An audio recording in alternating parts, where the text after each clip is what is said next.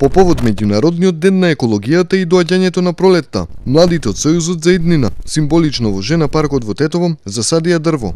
Денеска по повод 22 март, денот на пролета и вчерашниот светски ден на заштита на животната средина, ние младите од Сојузот за еднината адекватно го одбележуваме со спроведување на акција за чистење на парковските површини, а символично ќе засадиме едно дрво, дрво на еднината.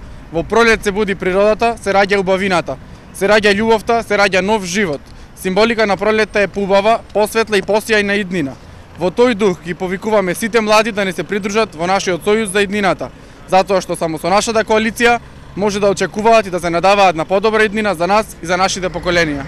Од Сојузот за иднина ги повикаа сите млади да се приклучат кон активностите за изградба на поубаво и почисто Тетово.